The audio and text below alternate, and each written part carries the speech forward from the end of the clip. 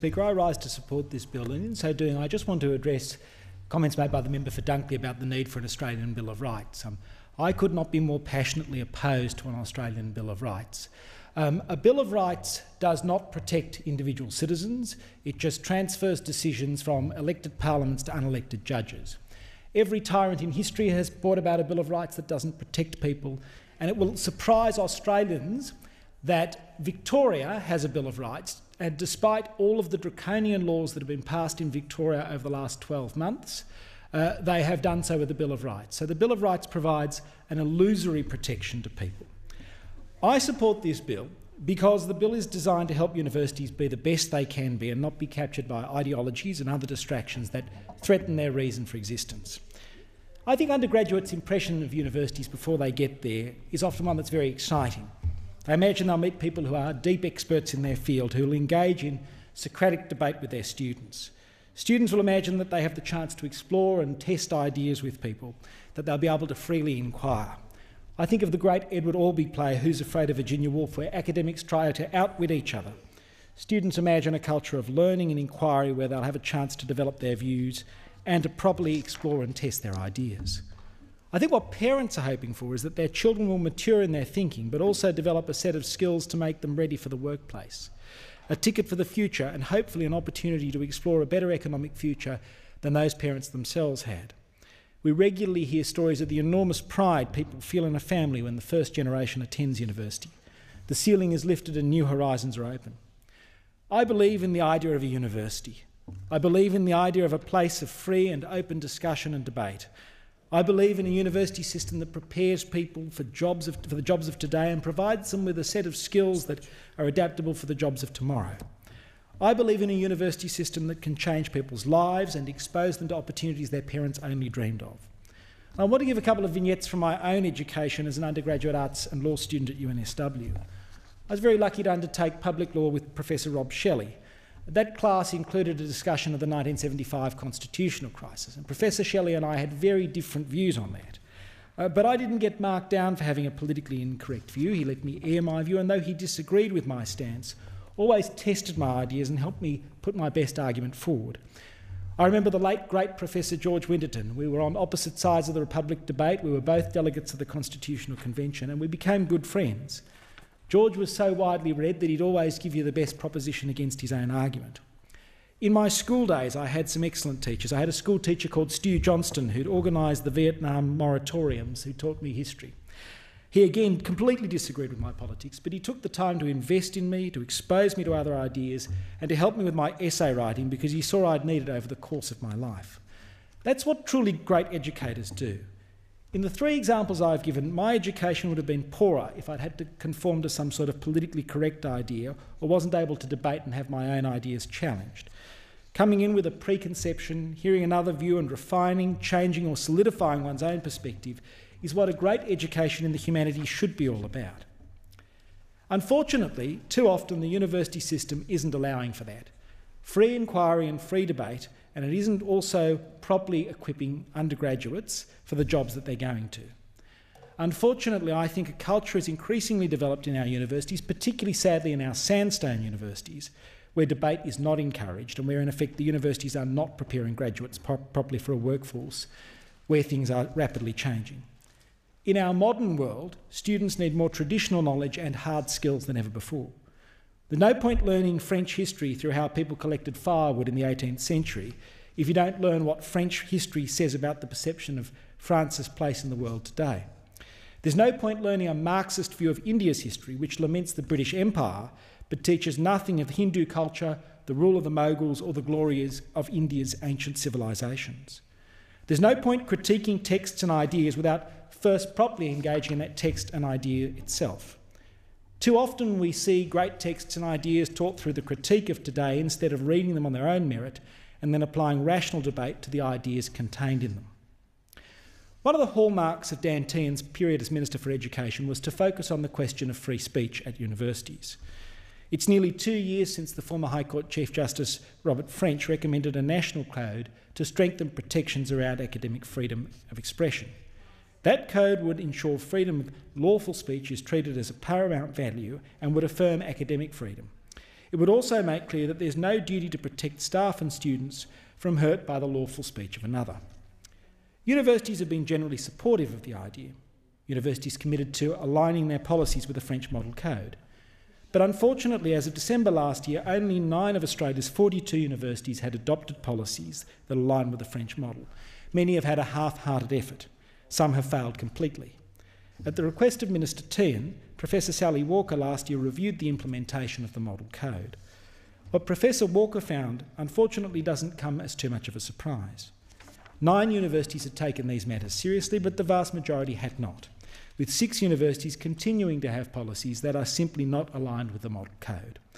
This is not just a failure to do the paperwork, there are deeper problems with how some universities are handling matters relating to freedom of speech and academic freedom, and those problems can't go unchecked. This legislation is therefore necessary to ensure that universities actually do what they're supposed to do and adopt the code. This legislation is not an impermissible interference with university freedom. In fact, it is the very stuff of, of protecting their freedom. In recent years, we've seen the slow but very real erosion of public confidence in universities. Some have sought to monopolise the ideas expressed and to use universities as platforms for progressing particular agendas. Some of those agendas are ideological, others are actually threatening to Australia's security. But regardless of what form these agendas take, to allow universities to be overtaken by politics instead of learning would be a terrible mistake. Over the past couple of years since the French Review was announced, Labor and too many higher education providers have been trying to say to us, oh, there's nothing to see here. I find this argument staggering, especially after the real nature of the Confucius Institutes have come to light. This is just one example of several that should wake, make us wake up and ensure we are doing all we can to ensure universities can retain the character and freedom essential to their flourishing. The failure of some universities to recognise that we have a problem is what concerns me most. Let me remind the House of some disturbing examples that have occurred in university campuses in recent years. In 2015, Colonel Richard Kemp was shouted down by students and a professor at Sydney University when he tried to speak about the ethical dilemmas of military tactics and dealing with non state armed troops. He'd previously publicly defended the actions of the Israeli Defence Forces, and yet for 20 minutes he was unable to speak. The protesters fought with security who tried to have them removed.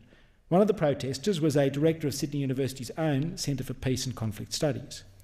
In 2020, a student at the University of Queensland, Mr Drew Pavlou, was suspended from the university for two years after he was involved in protests against the Chinese Communist Party.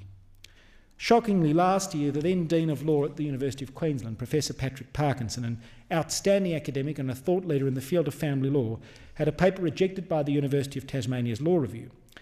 Reasons given for the rejection of the paper included his use of offensive terminology such as, quote, biological female and, quote, opposite sex. Parkinson had been asking important questions based, of, based on years of experience in family law about decisions that are currently being taken to define gender identity in new ways. His viewpoint deserves an airing in an academic journal.